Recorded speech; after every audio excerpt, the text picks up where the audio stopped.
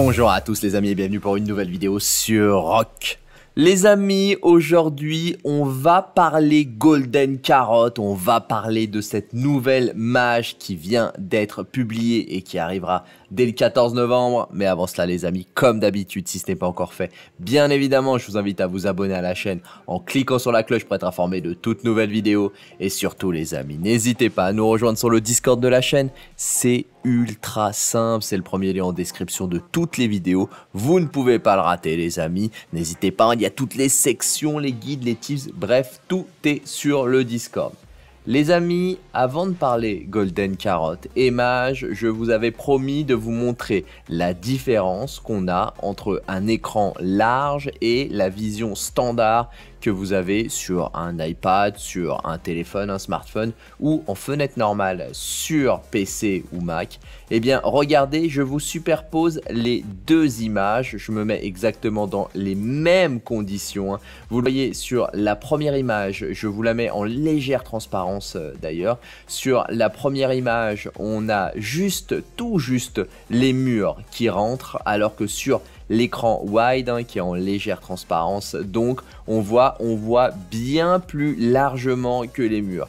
Et au niveau du haut, entre le nord et le sud, hein, sur les portes nord et sud de votre ville, on voit un tout petit peu moins large. Alors, l'image est un tout petit peu tronquée en bas parce qu'il y avait la barre des tâches euh, Windows pour prendre le screen. Euh, mais au niveau du nord, elle est parfaitement bonne. Et vous le voyez, on voit un petit peu moins au nord. Alors la question qui se pose, c'est est-ce que vous préférez voir plus large sur les côtés? Alors que je vous dis un tout petit peu moins au nord c'est même pas flagrant en fait. Non, je pense qu'on voit autant au nord, hein. je vous dis une bêtise. On voit autant en haut, c'est le fait que ce soit tronqué qui m'induit en erreur. On voit parfaitement euh, les mêmes mines de pierre. Donc au final, on voit juste plus large sur les côtés, mais bien plus large. Hein. vous le voyez, on voit bien sur l'extérieur. Donc un énorme avantage pour ceux qui sont en KVK avec un écran wide, hein. ils voient bien plus largement pareil pour faire des recherches sur la map, c'est bien plus pratique. Évidemment, ça a un coût, mais au moins on le saura que ceux qui ont des écrans wide sont vraiment privilégiés. Si vous voulez d'autres captures précises hein, sur un écran, alors là c'est un écran que je vous dise pas de bêtises, c'est un écran 41 pouces, je vous dirais si vous voulez d'autres screens précis, je pourrais vous en faire et vous montrer ça en vidéo. Passons à présent à cette nouvelle mage que Lilith nous a publiée, la mise à jour 1.0.76, Résac de la guerre. Et étonnamment, il y a eu une petite fuite, un petit leak 24 heures avant les euh, informations étaient déjà sorties sur cette mise à jour. Puis il y a eu l'information officielle qui est tombée, Résac de la guerre qui est potentiellement le nom d'un nouveau KVK comme on va voir. Le jeu sera mis à jour, comme je vous l'ai dit, le 14 novembre. Il y a quand même de la carotte dans cette mise à jour. On ne connaît pas encore l'horaire. Ça sera sûrement 6h UTC, 7h pour nous maintenant qu'on est en heure d'hiver. Et il va y avoir la nouvelle série d'événements de Thanksgiving. Alors les saisons précédentes c'était pas mal, hein, de Thanksgiving, il y avait Thanksgiving, Noël, le jour de l'an, le jour de l'an chinois, on enchaînait les bons events. Là j'ai peur des méga carottes. Donc Thanksgiving, hein, festin de Thanksgiving, c'est classique, on prépare le repas, on ramasse des ingrédients et on fait de l'échange au niveau de, euh, de, la création et avec euh, sa propre alliance.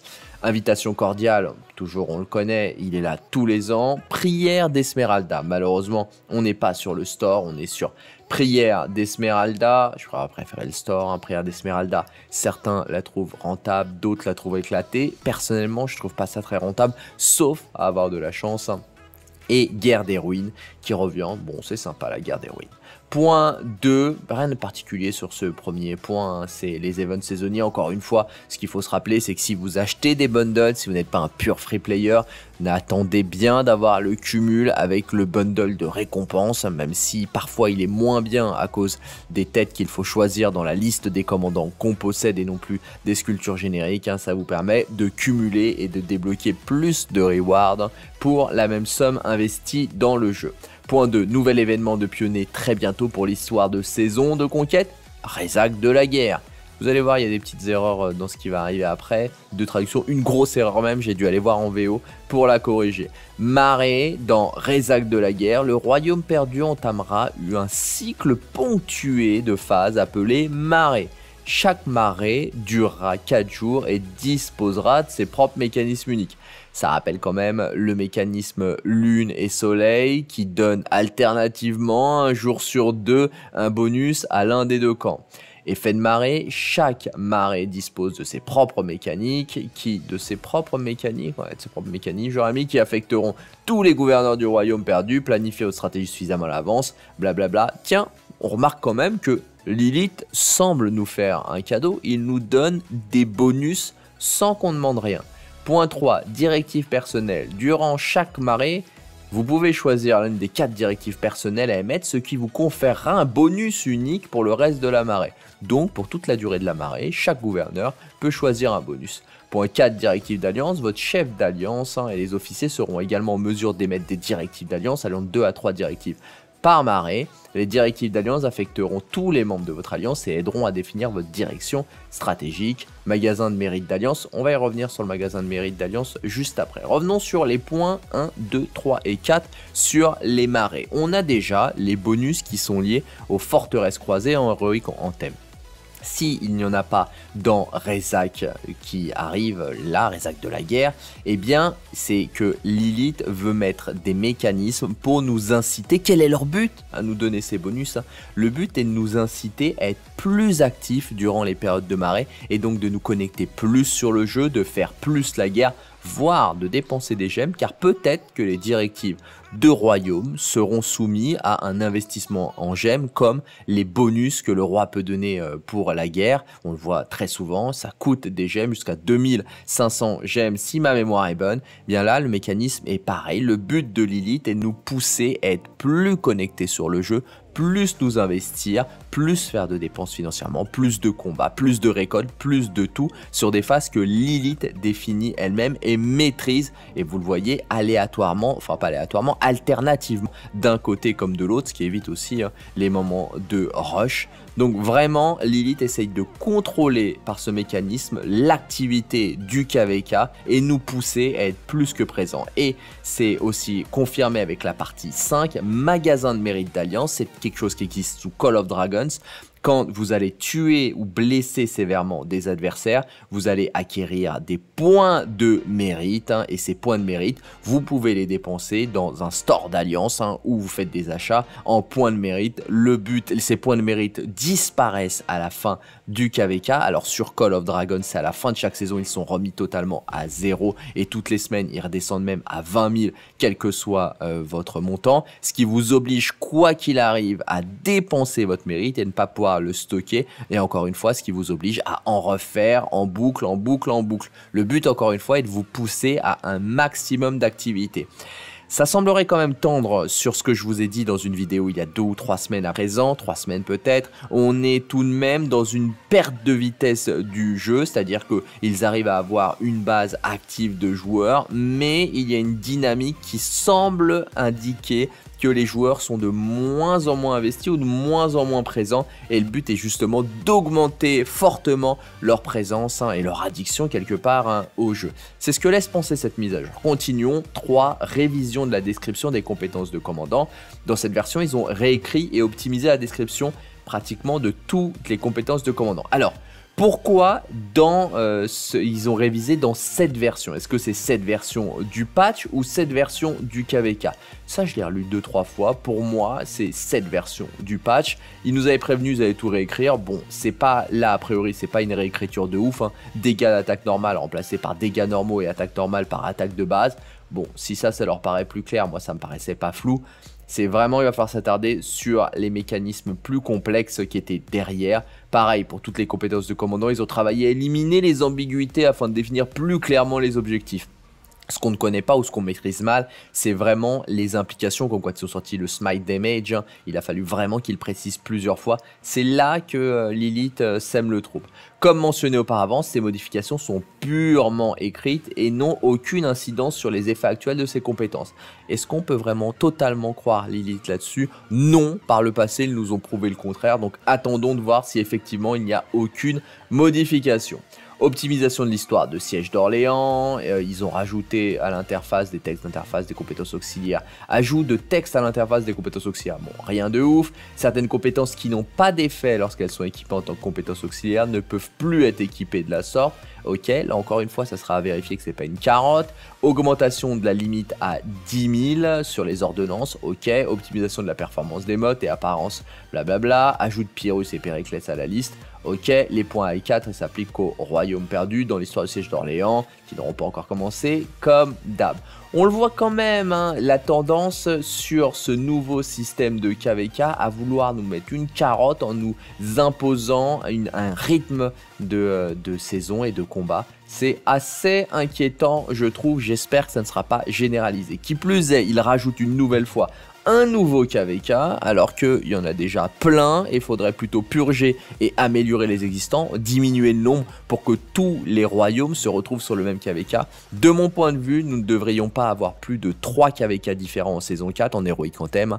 Ils font 3 saisons de conquête plutôt, ils font 3 systèmes de KVK et tout le monde devrait s'inscrire sur ces 3 là. Là encore une fois, ça divise les royaumes et ça fait qu'on se retrouve avec des KVK et des matchmaking totalement éclaté. Amélioration de la version PC, ajout d'un raccourci, optimisation de la saisie, optimisation de la perf super, correction du problème lié à la connexion via Google parfois bloqué, je l'ai jamais constaté. Point 6, autre amélioration. Souvenez-vous, les autres améliorations, c'est se cache généralement les plus grosses carottes. Parfois rien du tout, parfois de la golden carotte de qualité. Optimisation de la superposition de la carte dans le tombeau d'Osiris lors du zoom arrière. On peut désormais voir les deux côtés. Ok, ils ont augmenté le zoom arrière. Gros effort les mecs. Point 2, ajout d'informations supplémentaires aux descriptions des compétences de commandant incluant le type de cible qui permet d'identifier si une compétence active euh, affecte une seule ou plusieurs cibles. Bon, ok. Optimisation de la logique de compétences de HQ, Dragon du désert. Ah, intéressant. Optimisation de la logique de compétences. Ajout de nouveaux effets visuels. Ok. Dans le canyon du crépuscule, canyon perdu et royaume doré, la compétence se déclenchera immédiatement au début du combat. Alors là, ça veut dire tout de même que HQ va devenir un must-have, il va falloir vraiment l'avoir dans son roadster, dans son équipe pour le canyon, sinon pour les deux canyons et le royaume doré, parce que sinon vous serez vraiment pénalisé. En revanche, le optimisation de la juge de la compétence, je pense qu'il y a une grosse carotte qui se cache derrière ça. Peut-être que HQ a été EP parce qu'ils sont peut-être déçus. C'est vrai qu'il est moins bon que Nevsky Jeanne. Vous mettez Nevsky HQ, c'est moins performant. Peut-être qu'ils l'ont amélioré en plus sur le terrain d'open field, en plus d'un ajout visuel lorsque les troupes de HQ reçoivent le bonus. Bref, là, ça me paraît un peu limite si c'est que ça. Point 4, le paramètre tenir à position après l'un 4 sur une. Bon, ok, c'était tout naze. Ça ajoute de la conception de l'interface ok, tout naze, ça sert plus à rien. On a déjà tous fini.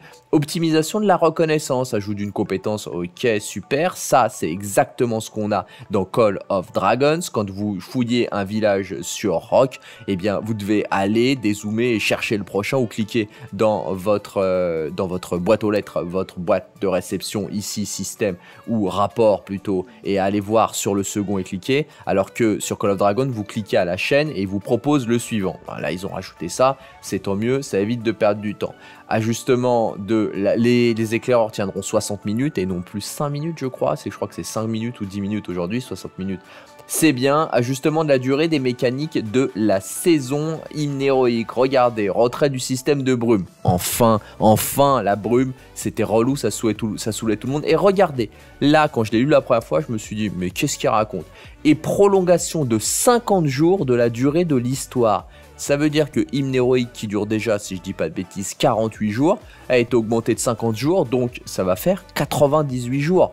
Prolongation de 50 jours. J'ai eu un doute, Point 2 pour la saison de préparation, prolongation de 50 jours de la durée de l'histoire anime héroïque. Donc pareil, on a deux KVK qui vont plus durer 48 jours, mais 98 jours. Mais vous avez craqué les mecs. Du coup, j'ai été voir la version anglaise et c'est bien pas une prolongation, mais une augmentation à 50 jours et non pas une prolongation de 50 jours. On passe donc de 48 à 50 jours, ce qui est conforme. Hein. Tous les KVK vont à présent être à 50 jours ou presque tous les KVK hein, pour celui qui reste à 49 jours.